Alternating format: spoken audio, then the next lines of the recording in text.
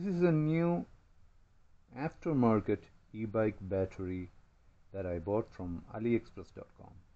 It's a 48 volt 60 amp hour battery. I would like to check the 60 amp hour capacity is real or not.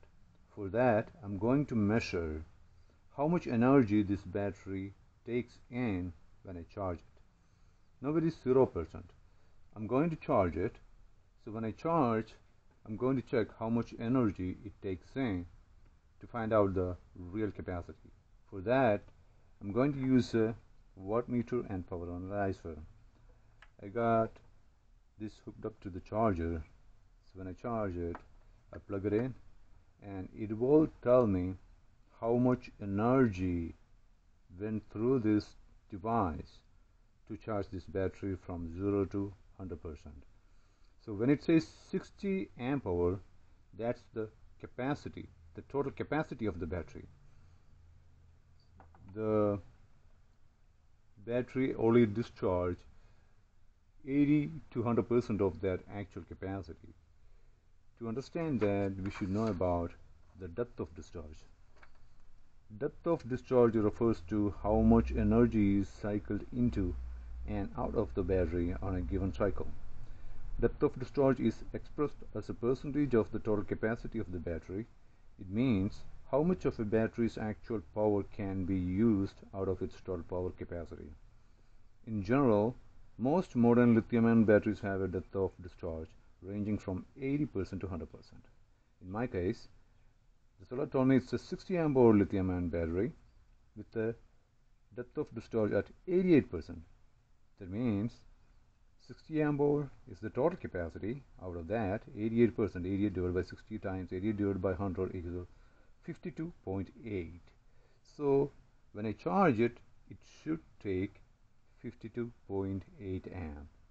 If it takes 58 52.8 then it's a legit battery. If it don't take 52 or less than that then it's not a legit battery. Thank you now the wattmeter is in between the charger and the battery. The battery is 0%, there's nothing left in there. So I'm going to start charging now. I also put an AC wattmeter here so I can figure out how much total energy it took to fully charge. The battery will take around 60 amp and the charger will consume some. So I want to know how much total energy both of them took to fully charge this battery to 60 amp. So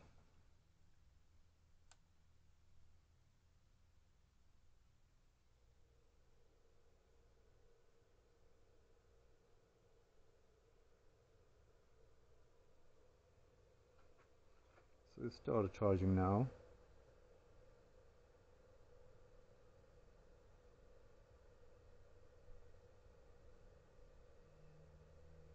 now it's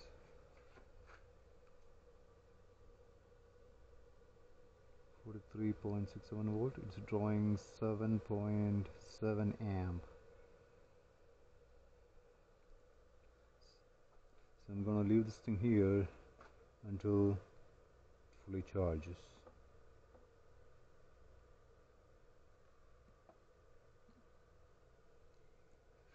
So here there's a time so it will tell you how much how many hours it took to fully charge. That's the watts a kilowatt that's the voltage 4 amp.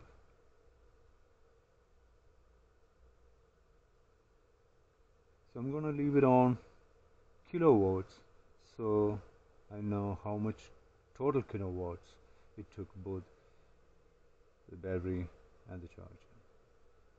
Thank you. So now it's fully charged. 100% 54.4 volt. It took almost 9 hours to fully charge it. And here my watt meter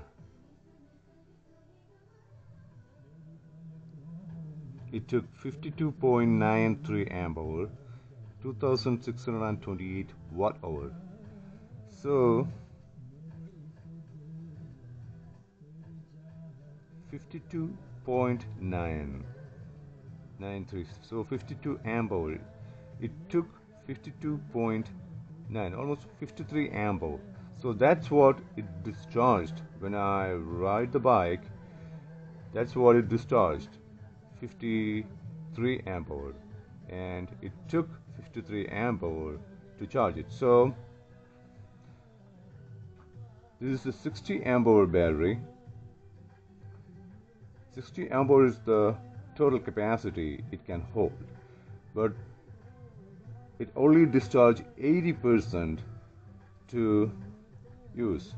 So 80% of 60 amp hour is 48 so it is giving me 53 amp hour so it's a good battery it's it's not fake it's real.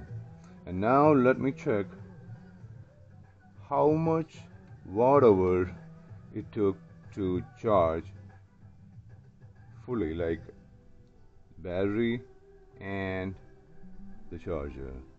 Here it took 53 amp hour and uh, how much hour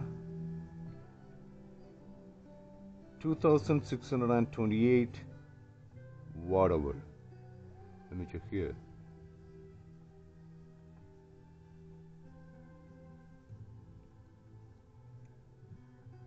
Three thousand two hundred and fifty-three. Here it was 2628 that went into the battery plus 3200 so let me check that how much is the difference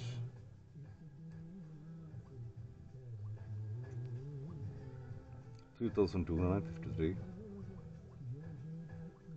minus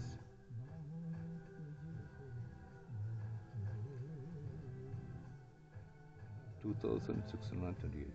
2628 is equal 625 watt hour difference alright so after the charging my battery from 0 to 100 percent I got a reading of 52.9 amp hour so going to do the math if I have 52.8 then it's a legit battery. So it took 52.9 so this battery is a legit one